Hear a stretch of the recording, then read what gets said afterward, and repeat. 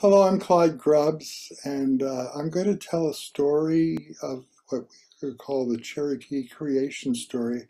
And I'm going to mention a little bit the Hebrew creation story, the one we call the Bible story. And um, I'm going to draw some contrasts uh, between the two, and I think you can find some wisdom in the contrasts. The Hebrew creation story, as you know, begins with the words, In the beginning, God created the heavens and the earth. And God creates the heavens and the earth out of either chaos or out of nothing, depending on the particular translation. Out of um, so the, the for, for the most part, theologians uh, in the Western tradition have posited that God created, there was nothing, and then God created the universe. Um, well, the Hebrew would say there was chaos, and then God created the universe. So I'm going to begin now with a Cherokee story, and you'll see the difference. Long, long time ago, when everything was all water, all the animals lived up in the sky and it was very crowded. All the animals wanted more room. The, the animals began to wonder what what was below all that water, all that water, where everything was water on the that they could see. that wasn't in the clouds where they lived. And at last, they sent down animals and and birds, and they couldn't find anything to uh, to to so they could go down onto the uh, out of the clouds. It's very crowded, and it was not a lot of privacy up there in the clouds. So Water Beetle volunteered finally, and Water Beetle darted in every direction over the surface of the water, and he could not find any place to rest, and there was no land at all. And so their water beetle dived, dived into the into the ocean, dived into the water, dived into the lakes. I don't know what it was, a river. It was big though. Dived and brought up some soft mud. Then that mud began to, uh, to because he, the beaver kept, the, the beetle kept diving, diving into the water until he brought up more mud and more mud and mud, more mud. And pretty soon the mud was so big and so spread out in every direction, it became land.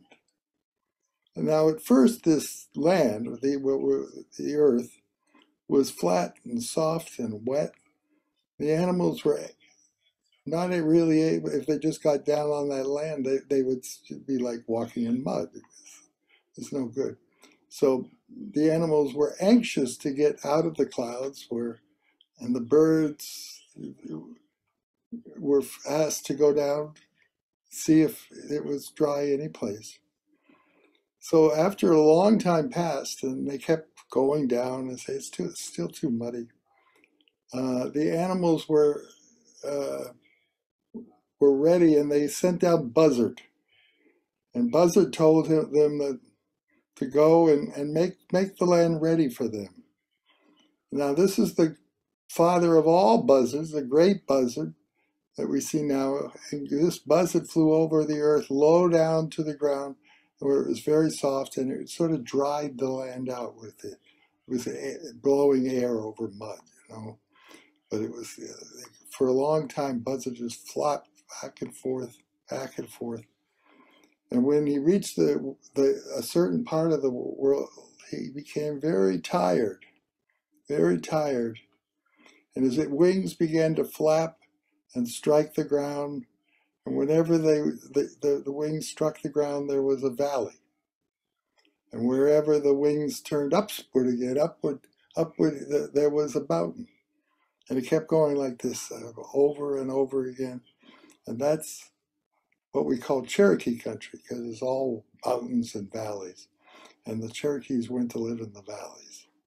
Now we know that the first, that the, it, when the plants started to grow and when the animals started to come down on the ground, they had to, in a sense, bless this new land that they were on. It was a, a blessing, and the blessing ceremony was to, to be awake for seven nights. To be awake for seven days and seven nights. And this is a kind of uh, like very much like uh, what we call a uh, transition in life, a coming of age ceremony for Cherokee young people today. They they're asked to, at, when they get to a certain age to go out and stay awake for seven nights and seven days. And to watch, to watch. It's the watching that's the, by which the spirit grows. So the, the animals and plants were all asked to do this. And the first night, nearly every single animal and every single plant stayed awake. The next night, several dropped asleep. The third night, still more were asleep. At last, on the seventh night, only the owl, the panther, and two or more were still awake. Therefore, they were still given. They were given these. Those animals were given the power to see in the dark, to go about as if it were daytime, to go about in the night and see everything. All others have to sleep at night. Uh, the plants, some of the trees went to sleep. But all and at the at when the, the the seventh night came, only the cedar, the pine, the spruce, the holly, and the laurel were awake all seven nights. Therefore, they are always green. They're always vital. But the others, because the uh, trees, they were told, because you did not stay awake, therefore you will lose your hair every winter. Now, you say, well, what about Adam and Eve? What about Well, there was no Adam and Eve here. The two legged ones came along much, much later. Therefore, they were the least experienced creatures in all creation. Now, if a two legged one does not learn from the creatures that were here before him, before the plants and from the animals, from the fishes, from the, the crawling ones, from those who fly in the sky, if they just don't learn from their elders, they make stupid mistakes. They may cause much mischief they're just not very helpful. You can see the, the differences between these two creation stories is that the world is made what we know it now a place where there's land separated from water and there's a sky and birds fly in the sky and animals walk on the surface of the earth and fish fly, swim in the sea. It was made because, through the cooperative effort of, of animals and plants. Cooperative. It was a co It was not something done by speaking, uh, God speaking and, and and blowing wind over the surface. It was it was a cooperative effort.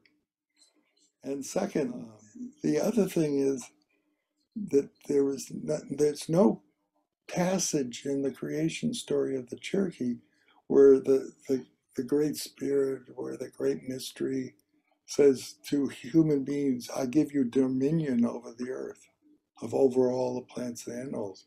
And that, that you find it has caused a lot of mischief with the, the, the idea that, that human beings who are, get their creation story from the Hebrew Bible believe they're in charge, that they uh, can dominate animals and dominate plants, and that causes a real, real problem with the envi- for the environment. So, um, those are some very important differences.